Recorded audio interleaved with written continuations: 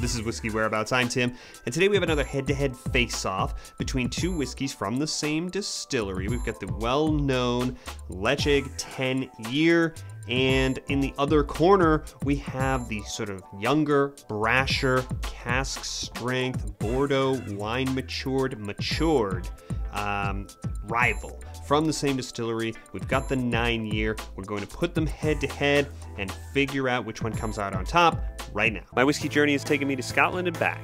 I've explored whiskey education, tastings, and distilleries from Islay to Speyside.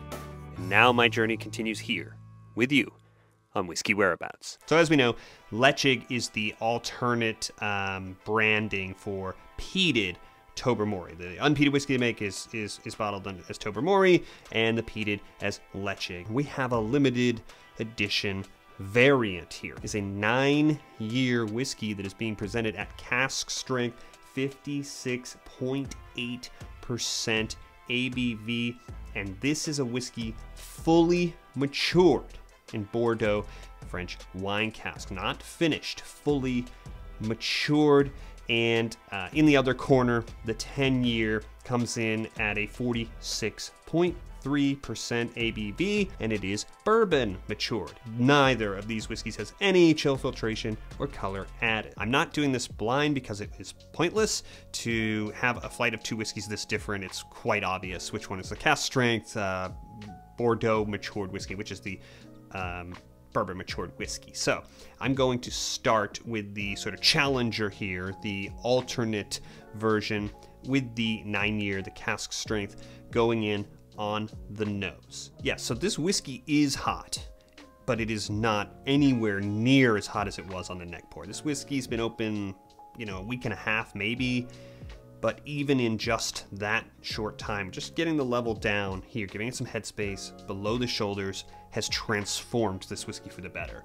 Then when I had the neck pour, I, I kind of sat back and and kind of went, uh-oh, this is way too hot, and I really I really can't get as much out of this as I was hoping to. And there's still some some heat coming off it. It's cask strength whiskey but there's plenty of room for the flavors. And the flavors are a little bit different, a little bit, than what I would expect. You don't often see the, the sort of full maturation in the red wine casks. When I have whiskeys with that finish, I expect to find some, some sort of character of a sort of a darker berry. Here I'm having red berries, a little bit brighter than I might expect. Fresher, kind of red berries and orange, like an orange jam or jelly and obviously, there is a smoky quality. So the peat smoke is definitely there, but there's also another quality we'll often kind of associate with this Ledaig style of whiskey. It has a meatiness. It has a sort of grilled, there's definitely some wood influence. It's not, you know, overwhelming, it's there, it's sort of grounding. Going in the palate now with the nine year. Yeah, it's thick, big, um, big mouth feel from this cask strength whiskey, and it's sweetness forward. That is how it arrives and announces itself. It's a sweet, sort of red, red berry, but red like candy sweetness right up front. There is some heat, and it's manifesting in a very lively sort of sort of black pepper across the tongue. When I had the neck pour of this whiskey, I let it breathe 10 minutes, but when I had this neck pour, it was so intense with that sort of hot sort of pepper. It was almost like tiny needles sort of across the tongue. Now it has had time and it has integrated in a way where we really now can get those flavors. And there is the smoky quality to it. It's sort of an ashy kind of smoke as part of the palate. Going back now on the finish on this whiskey. Yeah, the finish is long, still going, just as you expect. The sweetness now has almost like a melty sort of marshmallow quality to it. There is this sort of smokiness. Um, it's just like dissipating smoke. It's not a roaring fire here in the finish. Um, it's nice. It's not overwhelming. There is that sort of trace of that sort of meaty sort of element. There is that cask element. Strongest here on the finish. I think it's not overwhelming. It's all sort of in a balance. It's the it's it's it's the part where the other notes are balancing out the sweetness the most. This is a pretty sweet, pretty big whiskey. So because this is cask strength whiskey, I am going to hit the nine year with some water. Normally I have my little eyedropper and I kind of just sort of eyeball it and add some water. I pre sort of poured this um, half teaspoon of water. It's a lot of water based on sort of where I am with this, having experimented with before, especially with that way overly hot neck pour. So I am going to add that much water because honestly, I'm I want to get sort of below 50% where a lot of us may be, you know, drinking this uh, this whiskey if we had a whole bottle, and I'm gonna let this sit for a second, come back, and let you know how it presents. Yeah. And and there's that note that I was talking about before that I associate with this type of casks. There's that dark, rich berry note. It's right up front. So the water has cut into the sweetness a little, brought out a little bit more of the, I don't know, that tartness or, or, or what, however we want to describe it, so that darker kind of berry. That marshmallow is now present underneath, and that slight savory kind of note is right under in a stack. Wisps of smoke on the palate now with the water. It's really drinkable now but still really rich. It's lost a lot of the heat, and now I'm getting more of that sort of marshmallowy sweetness creamier mouthfeel. It certainly isn't washed out. It's not quite as thick. It's very, very drinkable now. That cask sort of element is there. It's minimized. This is much, much more approachable, but it's still very rewarding. Going back now just for the finish, it's a near perfect balance now. It's the sweetness, the berry is back, a little bit of the tart berry, a little bit of that sort of marshmallowy sweet in the mix. There is a bitter there is a little bit of heat. This is the last real vestige of the heat with the water. I feel that sort of black pepper across the tongue on that first arrival and the finish. I feel the warmth kind of in my chest right now talking to you as it's as it's still sort of dis dissipating. So the, the finish is still long. And I am getting a little bit of that uh, smoke still lingering. You get a little bit kind of rising to the sinus after that you know, when it first sort of arrives and, and you transition to that finish. But I am left with that nice balance. It's almost like a caramel salty sweet, uh, more than that marshmallowy sweet, with that sort of tart kind of berry, and with these other elements. Very, very nice whiskey.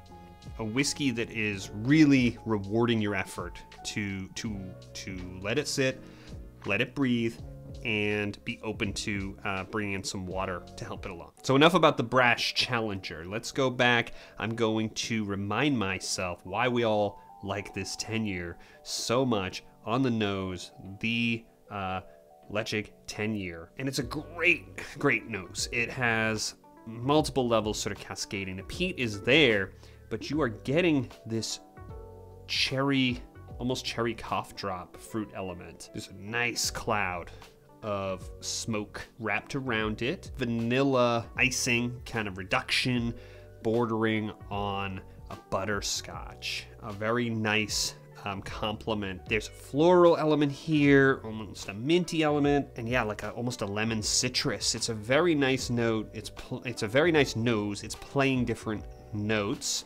and um, very strong competitor. So I'm going to go in now on the palate on the 10 year. There's that grilled meaty element.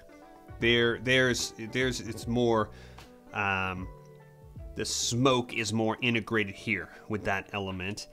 There's also sweetness still, honey, vanilla. The oak is announcing itself. You're getting some of the, the sort of cask. You're getting some of that. It's playing very nicely with the smoke.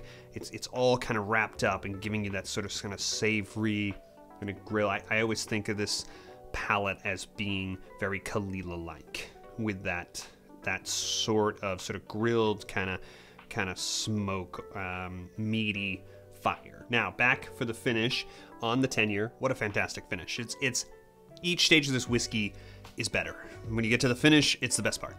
And it is the succession of flavors. You get a big plume of that sort of peat smoke. Then you get a really rich kind of distilled vanilla honey sweet Then comes the casks. You're getting sort of the tannic bitter.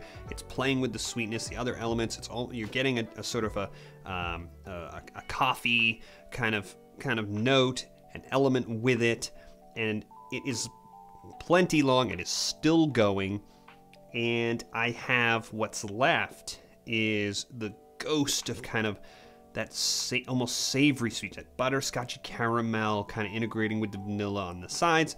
You got a little bit of the heat, a little bit of the cask kind of on the tongue, and you've got that nice plume of the smoke kind of in the sinus. A very, very rewarding whiskey as you go through. So another matchup on paper that maybe didn't look like a fair fight. It's 10 year versus 9 year, pretty close, but with this huge sort of cask strength advantage on the ABV for the 9 year. It's almost a little too much ABV, a little too much strength. It really needed to kind of be managed a little, and it, and what that included was letting you know getting the neck pour out of this bottle, letting it sit for a little while, and being open to experimenting with a pretty healthy dose of water. I found really transforming this whiskey into a really drinkable, nice whiskey. They are both very strong whiskeys. If you put these two just sort of on the bar and I'm going to reach for one, I probably would go with the 10 year that's ready to go out of the bottle. This one I kind of have to think, you know, how long's it been open and, and how much water am I to add? Um, it's certainly um, a very close call. In fact, I think I would give, irrespective of value, the two whiskeys the same rating. I, I would honestly say these are four and a half glass whiskeys. This whiskey costs between 70 and maybe, you know, not quite $80 depending on where you find it, which is a reasonable price for a very well presented and this high quality 10 year whiskey that checks all the boxes. This whiskey costs hundred and seventy dollars, and that is the sort of Achilles heel for this whiskey. Is this whiskey worth 170 plus dollars if you can find it? No, it's, it's just not. It's just not worth that. Um, you are getting that big ABV again. It doesn't quite have it under control. And you are getting a, a cask strength whiskey with a really nice age statement in some exotic and I assume expensive casks, but on a value sort of rating, this one's got to be docked um, for that um, price tag. So it's four and a quarter final rating on the nine year. Um, this is going to keep the four and a half. So I have to say the winner of the head to head face off is going to be the Ledaig 10 year very, very close to very different um, whiskeys. And if you enjoyed this video, I hope you will subscribe so you don't miss any of the future videos we have coming on the channel. You can use this big button that's going to pop up right over here, and I'll see you on the next one.